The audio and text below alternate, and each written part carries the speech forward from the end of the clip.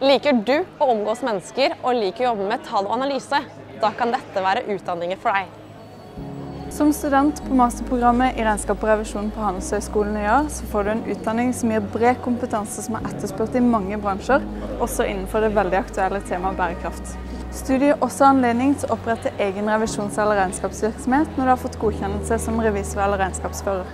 I tillegg får du siviløkonomtittelen som ved masterstudie i økonomiadministrasjon. Vi er en av få norske handelshøyskoler med en internasjonal akkreditering.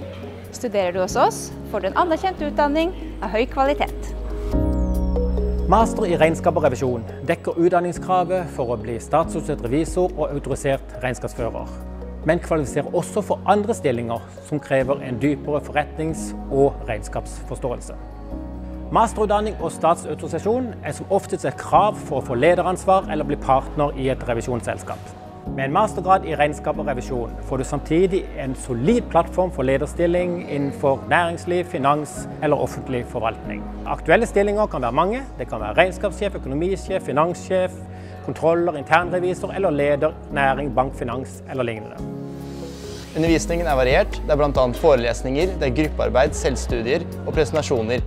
Og I tillegg så kommer du tett på både forelesere og medstudenter, noe som bidrar til et godt læringsmiljø.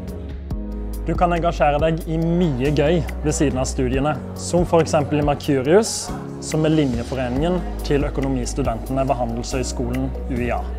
Det arrangeres også mange faglige og sosiale arrangement, f.eks. bedriftspresentasjoner, karrieredager, festivaler og konserter.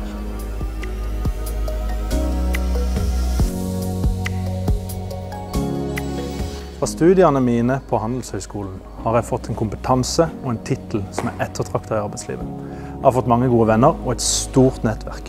Hvis du har lyst på de beste jobbene innen regnskap, økonomi eller revisjon, så anbefaler jeg deg å ta masteren ved Handelshøyskolen på UiA.